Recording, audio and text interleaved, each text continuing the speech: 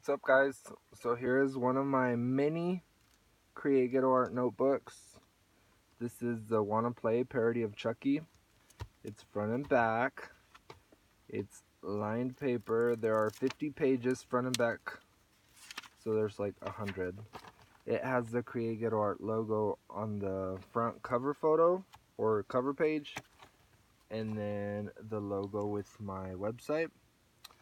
So if any of you want one of these or have a friend or a family member that want one, y'all can go to my website, createghettoart.com. And then I have all my drawings printed on these. So if you guys don't want this one, y'all can check the, the other ones out.